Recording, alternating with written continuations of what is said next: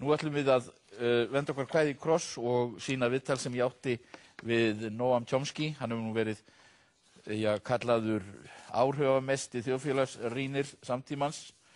Uh, the most influential public intellectual. Og það eru fleiri en einn fjölmið sem hafa gefið honum slíkar engunir. Þetta er frægum maður, hann er, hann er upprúnlega málfræðingur, prófessor við Massachusetts Institute of Technology, setti fram kenningar um málfræði sem eru umdeldar en, en, hafa haft gríðarlega áhrif en svo er hann líka þjóðfélagsrýnir og hefur verið beitt sér á því sviði í, í alveg síðan á tíma Vietnamstríðsins. Eh, hann telur held ég sjálf hans í vera helst anarkista ef eitthvað er, en við reyndum að fara svona nokkuð vitt og breytti yfir heimsmálun og þess er að geta að Chomsky kom hingað í bóði hugvísindasviðs Háskóla Íslands það er svona í tengslum við 100 ára ammæli háskólans og ég kann þeim mjög góða þökk fyrir að aðstóða mjög verið að koma Chomsky hingað í þátt hjá mér og í viðtal. En Nóam Chomsky, gjör þessu vel.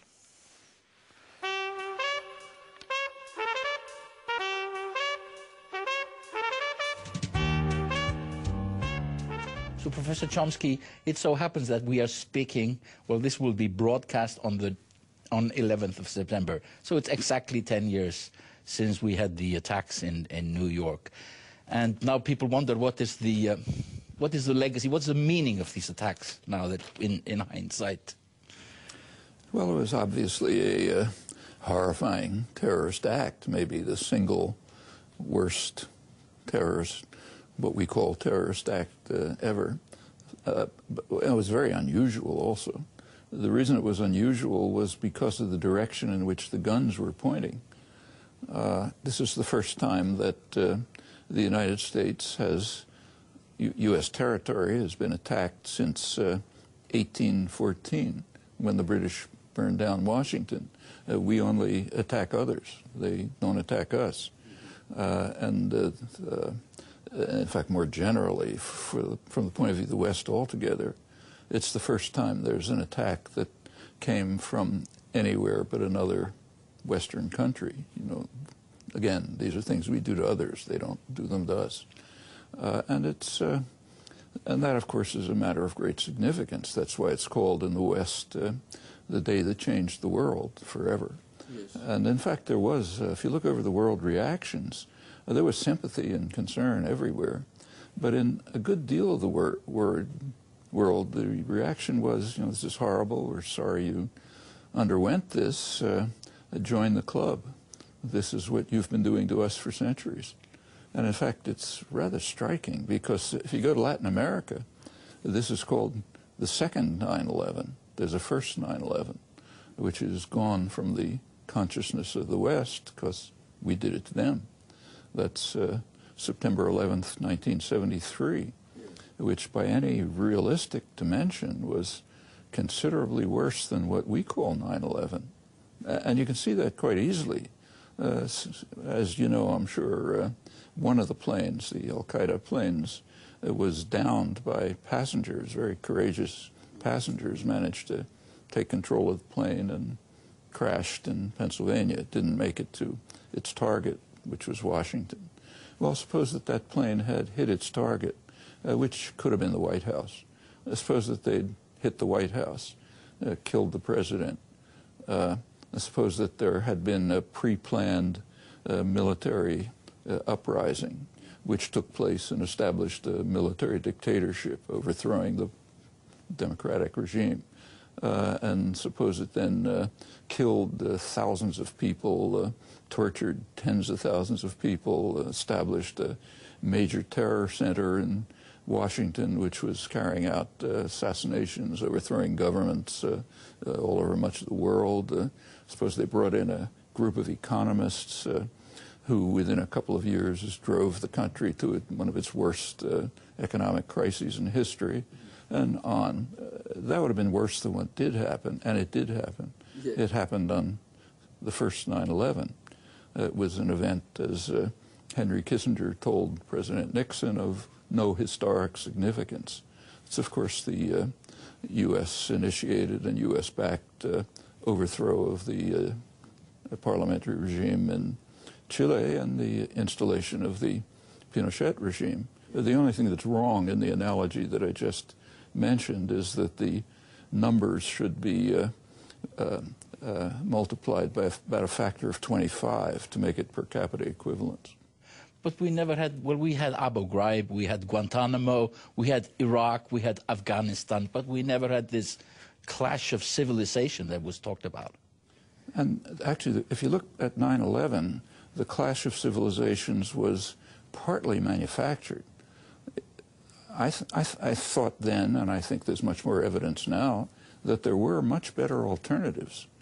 Uh, in fact, uh, if you look at the specialists on Al Qaeda, like uh, Michael Scheuer, the CIA agent who'd been in charge of tracking Al Qaeda for years, he's, he's written about it, first anonymously, now recently he's exposed himself. Uh, uh, he says that uh, George Bush was just following bin Laden's script. He said the United States has been Al Qaeda's best ally. Al Qaeda's plan was, their hope was to uh, convince their constitu- the potential constituency. They regard themselves as a vanguard which wants to mobilize a constituency. Constituency is the Muslim world. And they were trying to convince them that uh, the United States uh, is on a crusade to uh, attack Islam.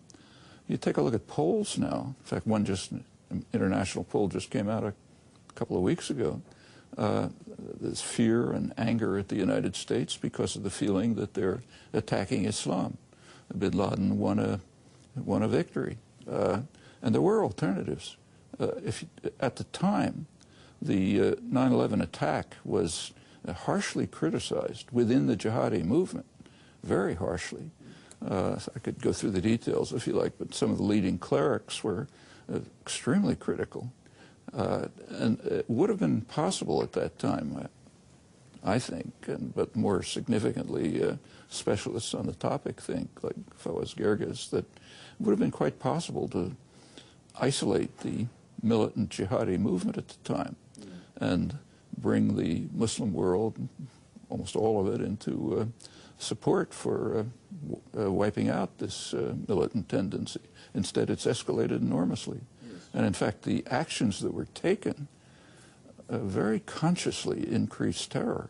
So, for example, the invasion of Iraq, um, we now know from testimony at the British Chilcot inquiry, you know, into the background and uh, uh, material from intelligence services that uh, both the CIA and British intelligence, and in fact, French intelligence, uh, predicted that if the U.S. invaded Iraq, it would increase terrorism. It did by a factor of seven in the first year, according to government statistics. These are victories for, uh, uh, for bin Laden, as are the uh, roughly $4 trillion expenses for the, uh, uh, for the two wars and maybe double that for Homeland Security. I mean, he never expected he's going to conquer the United States. The plan was to bankrupt the United States, to trap it, to bring it into what was called a trap. So he was largely successful. He was very largely successful. It's yeah. not just my view, incidentally. You can read people like uh, Scheuer and other yeah. specialists on Al Qaeda who say exactly that. So American power was undermined by, by the whole affair. It was undoubtedly undermined. I mean, there's no question that it's weaker now than it was 10 years ago. And this is not the only factor, but it's one factor. But what happened while they were looking at the, the Middle East, at the, the, the Islamists, was that China rose. They actually. Uh, well, uh, that's had... part of it, but that's, I think, exaggerated. Yeah, the rise of China is, of course, significant, but the idea that power is shifting from uh, you know, the U.S. to China, I think, is a gross exaggeration. China is a very poor country which faces all sorts of difficulties. Uh, it's uh, go through it if you like, but uh, uh, uh, there has been spectacular growth, but they have internal problems that the West are totally non-existent in the West. And in fact, China itself, its economic growth, if if you take a look at it, it's primarily as an assembly plant. So there's a lot of concern in Europe and the United States about the trade deficit with China. But when the trade deficit, I don't know about Europe, in the United States, where it's been calculated accurately in terms of value added, turns out that the trade deficit with China goes down about 25%, and it goes up with Japan, South Korea, and Taiwan, about 25%. I mean, they're supplying the advanced parts and components, the high technology, uh, as is the United States and Europe. Yeah. And it's being assembled in China and then uh, uh, shipped out. Actually, there's some careful studies of it, and they're pretty interesting. So you think these these ideas of, uh, of well Chinese world dominion are, are exaggerated? That's an illusion. I mean, look, they're per, they're per cap. Take a look at the Human Development Index of the United Nations, uh, which comes out every year. China, the last time I looked, was ranked about 90th, I think, uh, right next to El Salvador, uh, you know, a Dominican Republic. I mean, it's a very poor country, and it has uh, enormous internal problems. Uh, unrest, uh, labor strife, uh, ecological problems. It has a major demographic problem, which is well known to analysts. Uh, the Chinese growth period, the last roughly 20 years, uh, had a huge demographic bulge in uh, people, young people ages roughly 20 to 40, the basic workforce. That's over. It's now declining. So that demographic benefit that they had is going to be a thing of the past pretty soon, plus many other factors. So yes, it was, it was a spectacular growth period, and there are other aspects of it that aren't really too well recognized outside of you know the technical literature. So take say uh, mortality. There's been a very sharp decline in mortality in China, but it was during the Maoist years. The decline was sharp from 1950 to about 1980, and it was very sharp because of rural hygiene, um, health programs, barefoot doctors, hygiene. Uh, starting from 1980, it's leveled, and by now mortality rate is actually higher than it was in 1980. Uh, it's it's a complicated story. It's not the way you know the Yes. ideology presents it, and you find it very quickly as soon as you look into the details. I'd like to speak about President Obama. Well, he was voted in with, with hope, but why is he such a disappointment? because the hope was a complete illusion. I don't say that in retrospect. Uh, even before the primaries, I was writing about him, just using his record and his website. And it was very clear that uh, this is uh, uh, public relations. In fact, uh, the uh, public relations industry knows it. You may know that shortly after the election, uh, every year the advertising industry gives a prize for the best marketing campaign of the year. Yes. He won. he beat out Apple computers. Yes. And uh, if you read the business press, like say the London Financial Times, major business press, uh, they were quoting uh, executives who were completely euphoric. They said, we have a new model for public relations, for deceiving the public. It's going to change the atmosphere in corporate boardrooms and so on. So yes, they understood perfectly well. He won primarily because he did receive the uh, largest, by far the largest support from the financial institutions. That's kind of the core of the economy now. In 2007, they actually had 40% of corporate profits, and they preferred him. So they poured money in. And elections in the United States are mostly bought. Uh, you can predict almost completely who's going to win an election just by looking at campaign funding. But what do you think about the political atmosphere in, in America? We have this, this debt crisis. We have a. We don't have a debt crisis. That's more propaganda. Is it? Okay. Take a look at any of the serious economists. Yeah. I mean, at, well, to be precise, there's a long-term debt crisis, but there is no short-term deficit crisis. And the debt crisis, yes, it's long-term. It's due primarily to Ronald Reagan and George W. Bush. Uh, Reagan was spent had fiscal policies were just totally wild. He tripled U.S. debt. He turned the United States very quickly from the world's leading creditor to the world's leading debtor. Well, during the 1990s, that was kind of leveled off a little bit, and in fact, uh, Clinton left office with a slight budget surplus. Then George W. Bush came along, and radical tax cuts for the rich, uh, wild spending, you know, so there's more debt. Now, the deficit which is not the debt. That's something, that's a short-term phenomenon. And yes, there's a deficit, uh, but it's, it's not the major problem by any means. I mean, joblessness is the major problem. Yes. Uh, and if there was any interest in dealing with the deficit, uh, the sources are pretty well known. I mean, about half the deficit is due to military spending. But there's so much discontentment in America. There's so There's much discontent over do- joblessness, Hatred. not, not the deficit. Uh, you, you take a look at polls.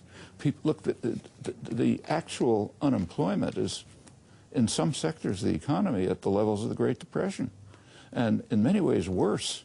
I mean, I'm old enough to remember the Great Depression. My family was mostly unemployed working class, and it was it was pretty bad, but it was hopeful. There was a sense we're going to get out of this somehow.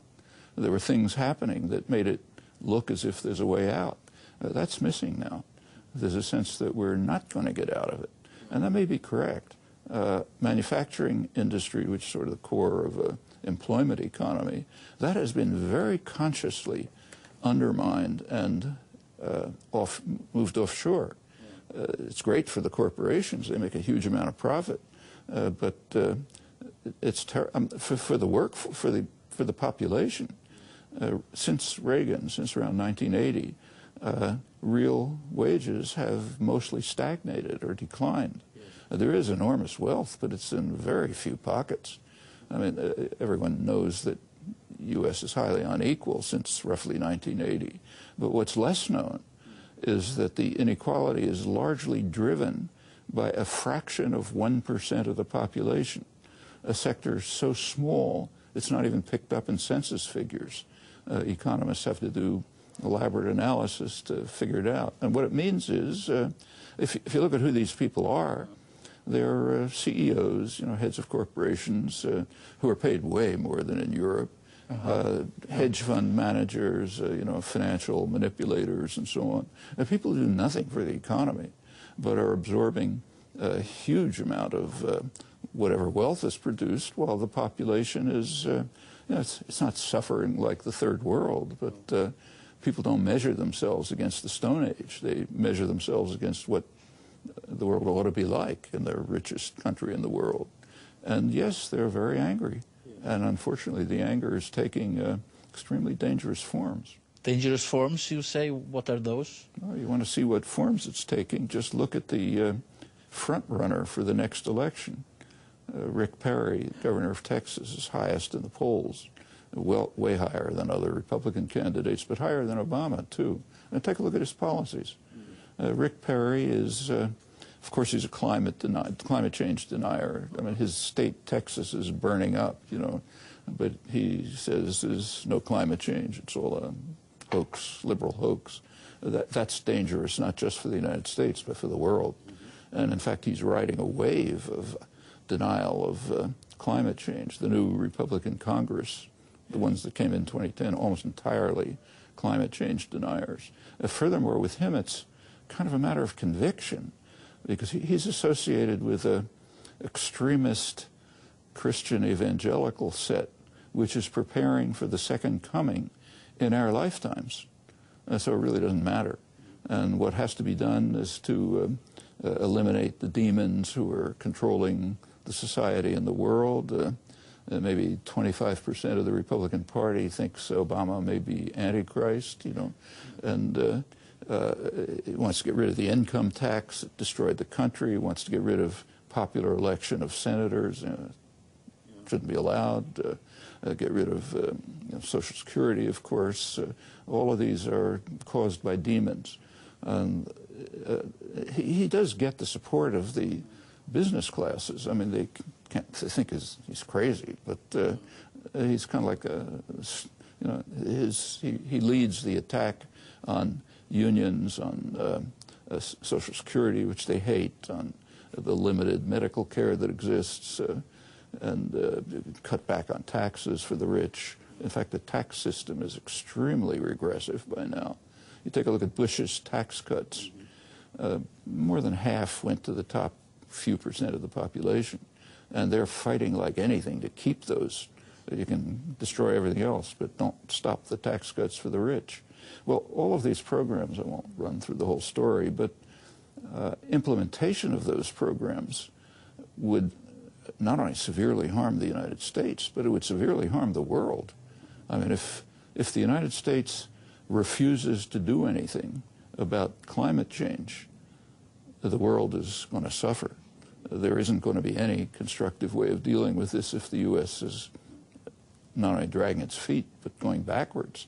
I mean, Perry and the Republicans in Congress are right now dismantling the very limited legislation to deal with uh, uh, carbon emissions. They're dismantling it. They want to get rid of the Environment, Environmental Protection Agency, which incidentally was instituted by Nixon. Okay. Yes. In fact, if you look back uh-huh. at U.S. politics, yeah. the last liberal president was Richard Nixon.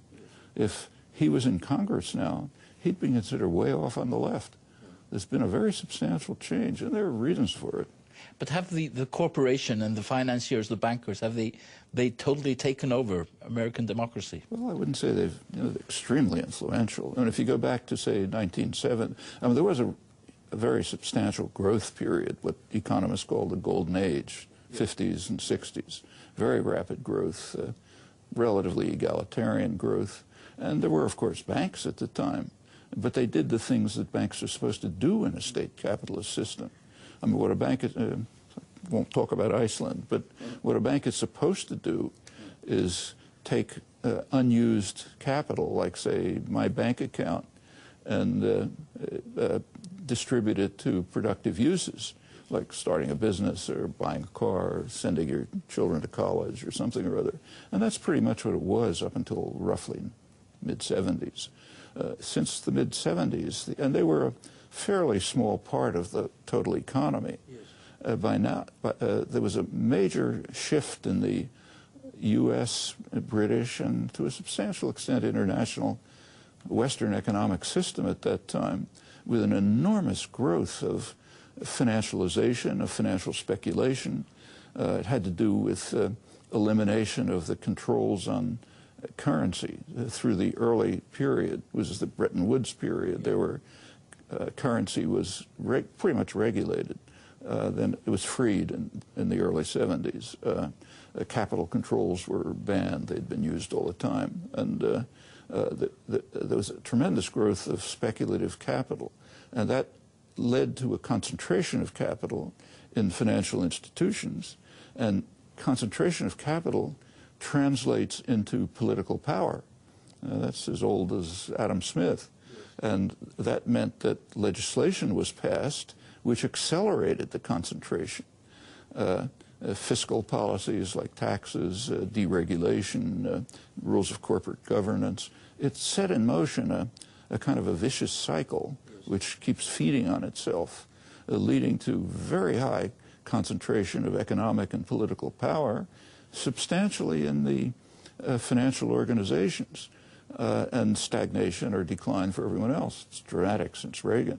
Also, since Reagan, uh, there were repeated financial crises. There were none in the 50s and the 60s because the New Deal regulations were still in force. When they were dismantled, of course, you start getting financial crises and bailouts and so on, each one worse than the last. Uh, at the same time, the cost of elections started to skyrocket. Uh, that just drives both political parties into the hands of pockets of the corporate sector, mostly financial sector. Uh, I think I mentioned by, 19, by 2007, right before the crash, uh, financial institutions had about 40% of corporate profits. And they don't, it's, un, it's unlikely that they contribute anything to the economy. They may harm it. Yeah. Uh, but, uh, but they're, and uh, again, uh, you have your own experience, but it's a general fact, and, and there are reasons for it. I mean, if you take a look at serious economic theory, it's completely predictable, uh, very predictable. I mean, in, when you institute market-style systems, uh, most of the uh, system is not really a market system, all kind of protectionist measures and state interference, but the financial sector did move to a kind of a market system in these years. Now, in a market system, uh, if you make a transaction, you suppose you sell me a car, let's say. Uh, if you and I have our, we're paying attention, uh, we'll arrange the transaction so that you and I benefit from it. But we don't pay any attention uh, to what are called externalities. to the effect of the purchase on him, let's say. And there is an effect. Like there's an extra car on the road, there's more pollution, you know, gas prices go up, and that magnifies. Well, that's negative externalities. Suppose you're a CEO of Goldman Sachs. If you make a transaction, you uh, recognize that if it's a risky transaction, you know, might cost you. If it's, if it's a ris risky transaction, it's going to make high profits, but of course there's a danger that it'll crash. So you take care, if you're paying attention, you take care of the potential losses to yourself. You do not take account of what's called systemic risk, the risk that if your transactions go bad, the whole system collapses. But that's exactly what happens repeatedly. So what you're doing is underinsuring systemic risk, and that virtually guarantees financial crises. Now, for, say, Goldman Sachs, it's not a problem because they may talk free market, but they believe in a powerful state.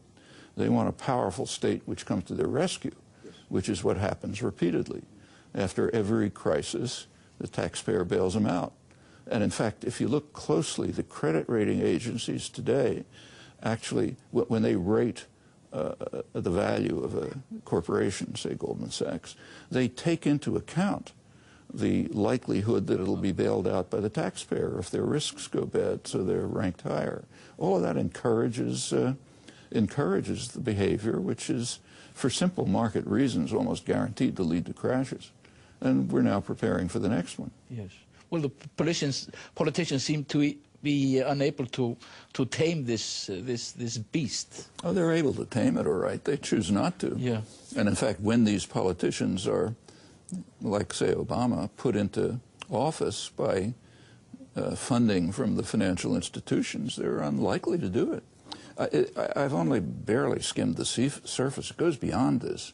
I mean, the political parties in the United States used to have internal rules so, for example, if you want, if you, if a member of Congress uh, wanted to move into a more senior position, you know, head of a committee or something, uh, it was based on service, seniority, and so on.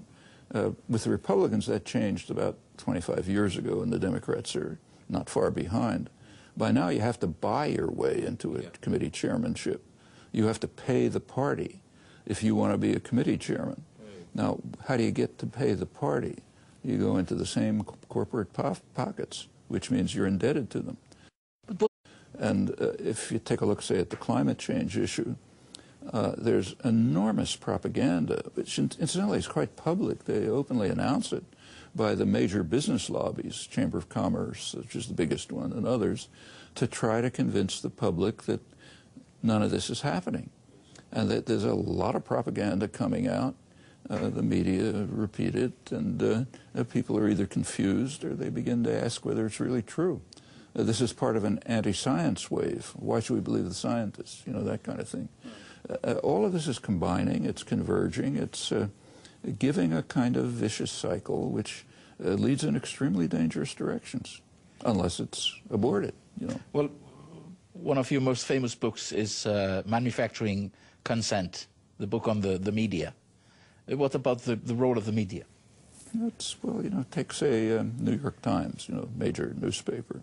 I mean, it debates climate, it, it does publish the opposing views on climate change, more or less equally. So on one side are, you know, 99% of the scientists. Uh, on the other side are uh, uh, some crazed senator, Jim Inhofe, who says it isn't happening, and you know half a dozen scientists who they can pick up as you can on any topic. Well, the public reads this, and it's uh, it's kind of he said, she said, you know, yes. two views. Uh, how do we make up our minds? Well, why should we trust these people anyway? Yeah. Well, that's what the media is all about these days. That's it's, what's called. He, he, says we. Yeah, we, except see, there's a there's an underlying principle if you go to a journalism school, the best journalism schools, you're taught a concept of objectivity. You have to be objective. And objective is defined.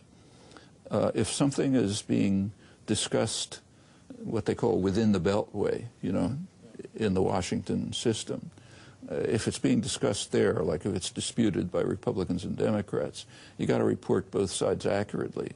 Uh, suppose you have a view that's not in the beltway Well, if you report that, it's biased, it's sentimental, it's uh, not objective, and so on. So take, say, climate change. 98% of the scientists happen to be outside the Beltway. And this is true on many other issues. I mean, let's go back to the deficit for a minute. Yeah. I mentioned that about half of it is due to military spending, which is just outlandish. The United States spend about as much as the rest of the world combined. But the other half is more interesting.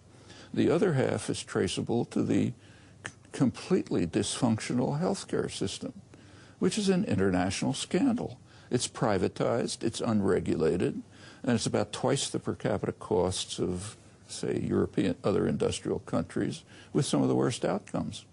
Well, it's been calculated by some good economists that if the United States had the same kind of healthcare system that, say, um, France, Germany, other Western countries have, uh, not only would there be no deficit, there'd be a surplus.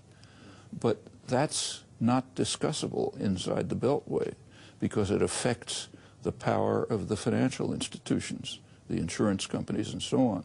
It happens that a large majority of the population has favored it for a long time but it can't enter into the political system. You could see it in the debate on the health care reform the last couple of years.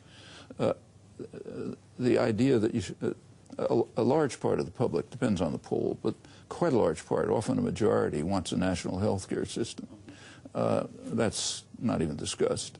Uh, Obama did have a, there was a proposal, the Democrats had a proposal to allow what was called a public option, so people could choose to join Medicare, you know, the general health care system, as a choice. They wouldn't have to go to insurance companies.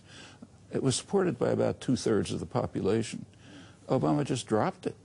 He didn't. It was, you know, he didn't say to the public, "Okay, you want it, I'm going to push for it." He said, essentially, the insurance companies, "I'm not going to allow it to happen." So it's you don't even have the option. Well, that's the deficit. That's why I say if they wanted to tame the deficit, which is not a high order problem. Unemployment is the high order problem, a very serious problem. Uh, they could, but it, it doesn't fit the needs of the people who Adam Smith called the masters of mankind, the people who own the economy. I'm going to ask you a large question, which is basically what, what, in your view, are the largest problems facing humankind? Humankind? Yeah. Well, I think that's easy. Yeah. Uh, there are two. Uh, we happen to be at a stage of history which is unique. Uh, we have the capacity to destroy the, the species, in fact, or at least decent life for the species. And there are two major uh, aspects of this. Uh, one, which has pretty much been around for 50 years, is nuclear war. It's a kind of a miracle that we haven't had a nuclear war if you look at the history, it's come very close a number of times. Uh, if, uh, in fact, it's being and it's being increased right now. The risk. Uh, talk about it if you like, but uh, it's real. Maybe it's not a high risk, but if you have a low probability event that's continually recurring, the probability that will happen is very high. Yes. So there could be a nuclear war. That's one, and that one we know how to deal with, at least in principle. The other is environmental catastrophe. I mean, the International uh, uh, Energy Agency just a couple of weeks ago uh, came out with an estimate of uh, greenhouse gas emissions last year, highest ever, even though there was a recession, so less manufacturing.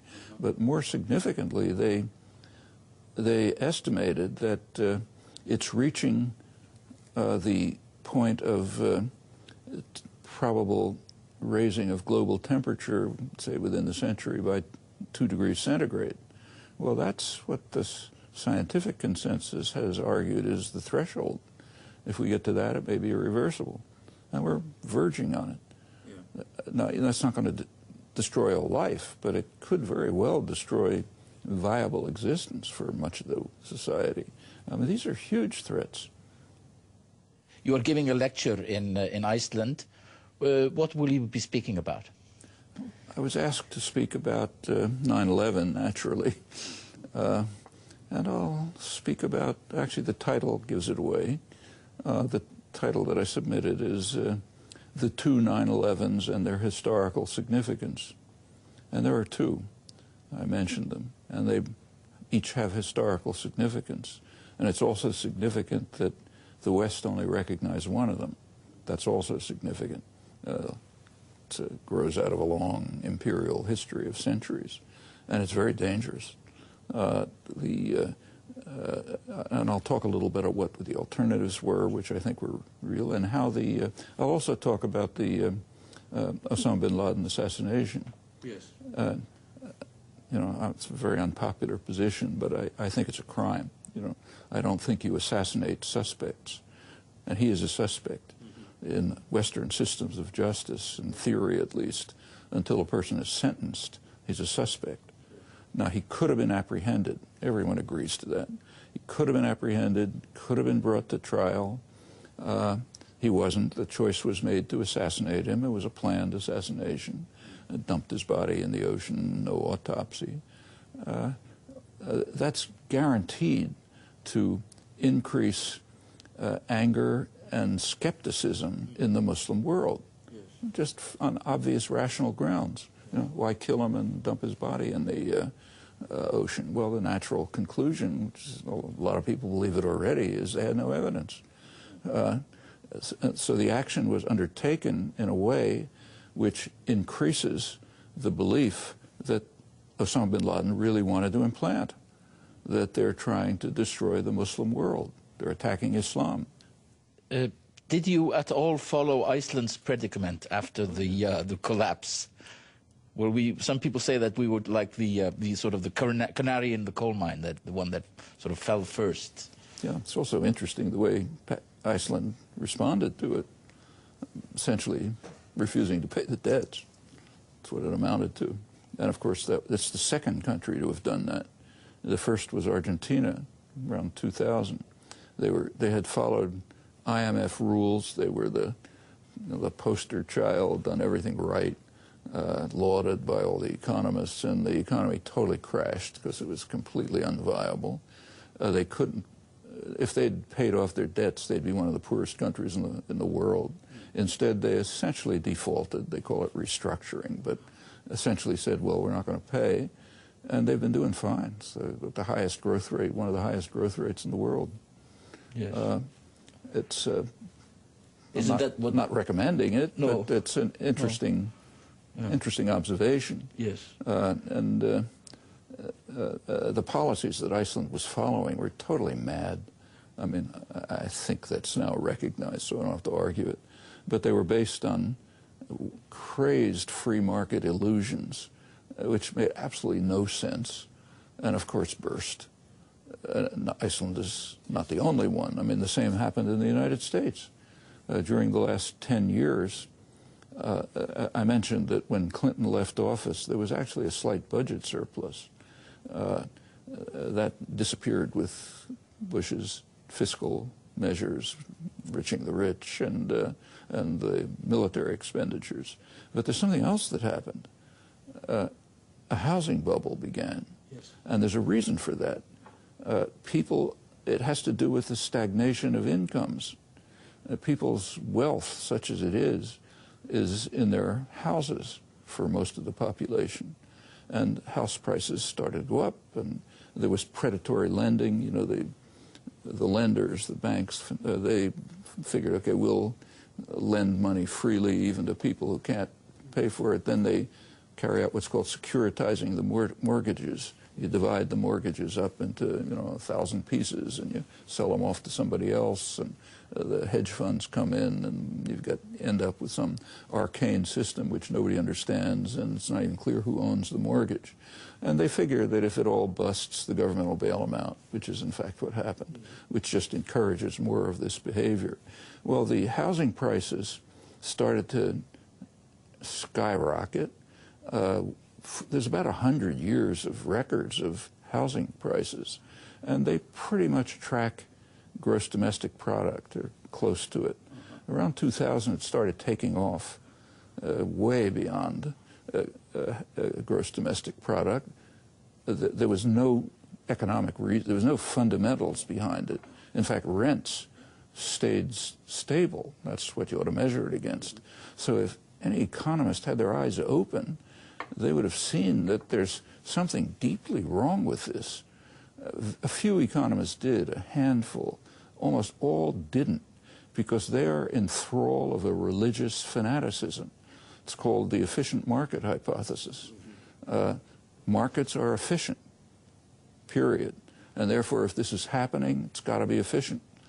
So the, the Fed, you know, Federal Reserve, Greenspan, Bernanke, uh, with the support of almost the entire economics profession, said this is fine. Can't be anything wrong with it because whatever market's doing must be right. Uh, Iceland is similar. Markets are saying it's fine, so it must be okay. Uh, you ended up with an $8 trillion bubble, which burst, means that $8 trillion of wealth was lost suddenly. Well, you, you, know what that does to an economy. It also helped to bring down the world economy. Other similar things were happening. Uh, I mean, there's a real fundamentalist faith. It's kind of like Christian evangelical faith. And it's kind of interesting that even after it the whole edifice collapsed, it's still maintained. The faith is still there. The faith yeah. is still there. Yes. Well, Professor Chomsky, I know you will also be speaking about linguistics while you're yes. here. You are, you're uh, one of the most influential uh, linguistics of, uh, of all times. But Thank we're you. not going to discuss linguistics here. Thank you Thanks. for being on this program. Glad to talk to you.